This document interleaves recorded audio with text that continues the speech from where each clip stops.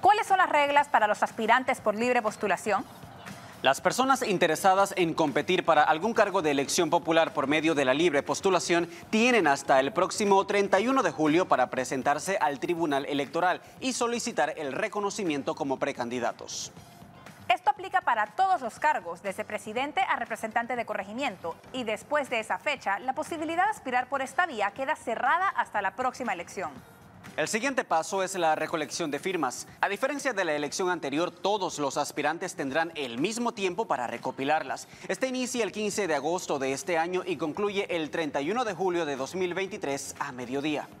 La cantidad mínima de firmas a recoger es el 2% de los votos válidos emitidos en la última elección, a nivel nacional en el caso de presidente o del corregimiento, circuito o municipio específico si se trata de otros cargos. Para presidente, por ejemplo, se necesitan al menos 39.296 firmas.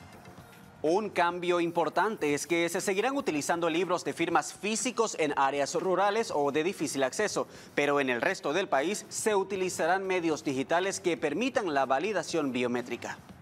Sin embargo, al igual que en la elección anterior, solo llegarán a estar en la papeleta los tres candidatos con más firmas por cada cargo y región, aunque todos lleguen al mínimo.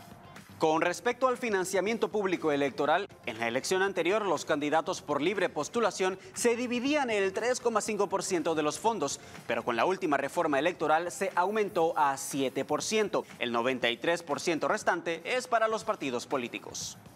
De ese 7%, dos tercios se reparte entre los tres candidatos presidenciales y el tercio restante se distribuye entre los demás cargos. Una restricción adicional para los aspirantes por libre postulación es que tienen prohibido participar en la inauguración de obras públicas o en actividades financiadas con fondos públicos desde que inician su trámite para correr. De lo contrario, serán inhabilitados.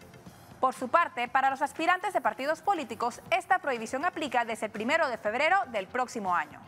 Y esas son las reglas para los aspirantes por la libre postulación. ¿Tú ya estás clarito?